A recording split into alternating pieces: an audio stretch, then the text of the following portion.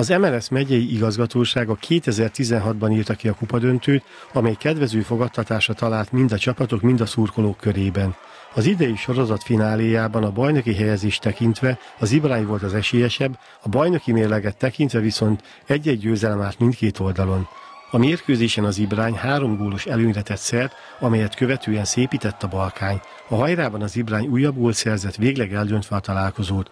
A kupagyőztes edzője szerint fontos volt csapata számára a siker. Már a múlt heti edzésünk is úgy nézett ki az összes, hogy ugye tudtuk milyen fontos a nagyhalászi mérkőzés, és mondtam a minimális elvárás volt a fiúktól, hogyha ne Isten nem úgy alakul a másik eredmény a nyílgyulaj nagy esetre, hogy sajnos nem úgy alakult, hogy a minimális elvárás a második hely és a megyei kupa győzelem volt. De hál' Istennek ezt én úgy gondolom abszolválni is tudtuk. Az első 15-20 percben eldöntöttük volna a mérkőzést, volt három óriási zicserünk, ami kimaradt, egyet tudtunk belőle értékesíteni, úgy gondolom akár játékban, kondiban, de, de leginkább azt mondom a tudatos játékban, széleken nagyon-nagyon sokszor meg tudtuk őket bontani, amiből három gólt tudtunk is rúgni. Mint a Balkány edzője elmondta, a sok hiányzó miatt nem ők számítottak a mérkőzés esélyesének. A szakember a vereség ellenére sem volt elégedetlen csapata teljesítményével.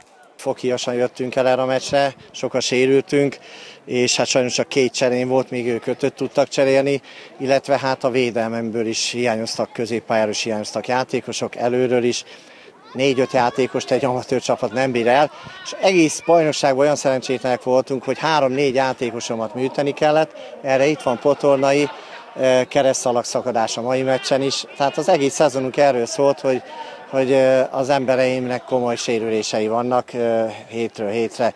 Négy műtött játékos után most itt az ötödik, akit már egyszer megműtöttek keresztallaggal, az egyik lábában most elszakadt a másik, úgyhogy nagyon pekes szériánk van, de a fiúk jól játszottak. Szerintem megvoltak a helyzeteink, hátul csináltunk a második félbe két-három nagyon nagy butaságot, ezt okosan kihasználta az Ibrány, de szerintem tetszetősen és jó futballoztunk előre fel, ilyen szállításban is.